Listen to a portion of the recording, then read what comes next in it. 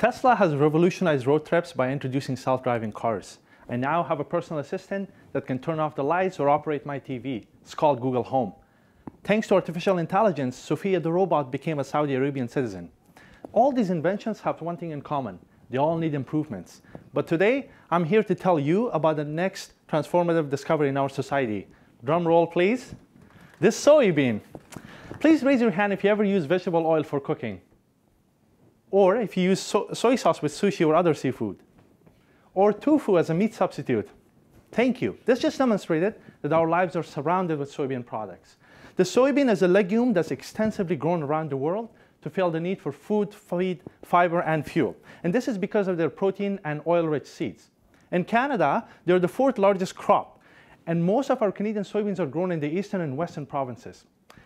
But there are many issues with growing soybeans in Western Canada, and the biggest being a lower protein content. So if I was a little happy farmer and I took two identical lines of soybeans and grow them both in the east and Western Canada, the ones in the west have a lower protein content.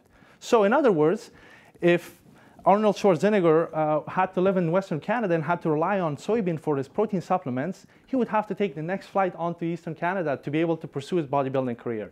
Of course, it's not feasible. This is a terribly vicious cycle because having a lower protein content has for many years prevented our Canadian soybean from the West from entering the global markets. And so how can we solve this huge issue? At the same time, farmers won't simply grow this if it can be sold.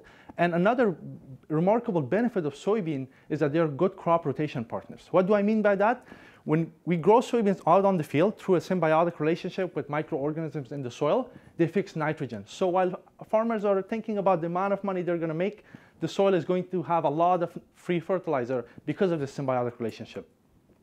So to, in order to address this huge challenge, um, we have grown a number of lines of identical soybeans both in eastern and western Canada and through conducting a technique called RNA sequencing which allows us to look at the transcriptome. So the transcriptome is a set of data that gives us important information on the way genes are expressed.